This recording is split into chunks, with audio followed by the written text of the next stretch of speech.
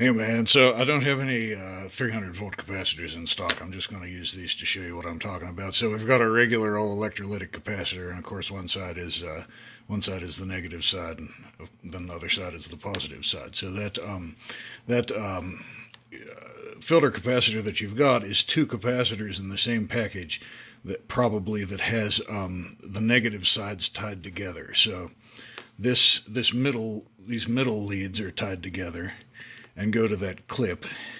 And then these outer two leads um, would go to uh, the other parts of the radio where the two wires connect. But since you've got a positive ground, I think you've got to make your own filter capacitor because I think that anything that you get nowadays is going to have a common negative side if it's an electrolytic filter capacitor like that. So I think you're going to have to get two regular capacitors like this and turn them around so that the positive sides are tied together and then just twist these leads together, which I can't do one-handed because I'm stupid.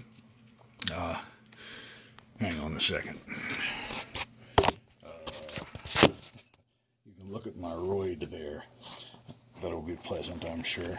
So just just just take the, the positive side and, and twist the leads together like this.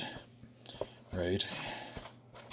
So you've got um, you've got this dealio with the negative sides on the outside like this, right?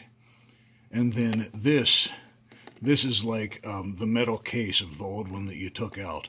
That will attach to the clip or somewhere on the chassis.